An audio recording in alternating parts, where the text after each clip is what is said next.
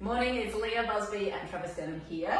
We are Blackfish Finance and McGain Real Estate, and we are doing a Monday morning update for you guys today. We thought we'd save the good stuff to the start of the week, Leah. That's right, come out booming. So today we're going to talk about change of weather, what's happening in the market, and um, we really think it's time for some people that were a bit disheartened a couple of months ago to get back in and um, have a look and start looking for property. So Travis, tell us what's happening. What happened on the weekend? Uh, six properties open, good attendance, offers on most, but not like a busy open two months ago. Yeah. It was like 100 plus groups.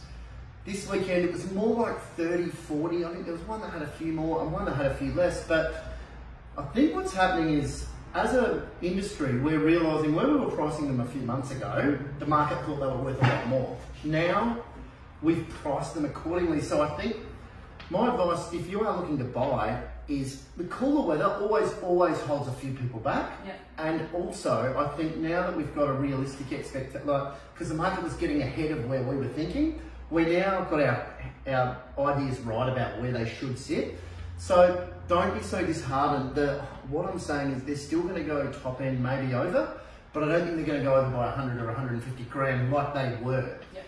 So if you've been discouraged, now's probably a good time to start going to opens. There was plenty of stock coming on the market because people are realising what they're worth or maybe will sell.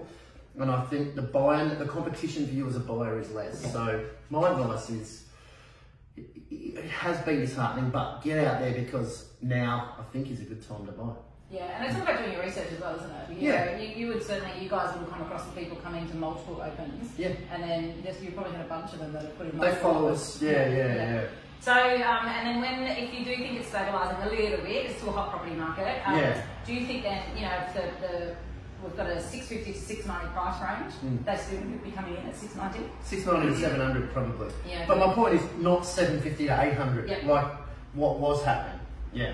Easy. So any questions about buying and selling, Travis and his team and myself and my team are always here to help. So we've got um, just general information, we've got templates, you want some information about what should we do, what difference does this make in my offer, or just a quick chat to say, hey, this is what I'm going to do. Yeah. Do you think that's a good idea, Leah, or do you think Yeah. that's a good idea, Trav? We're here to help you. Have a good week, everybody. Happy Monday.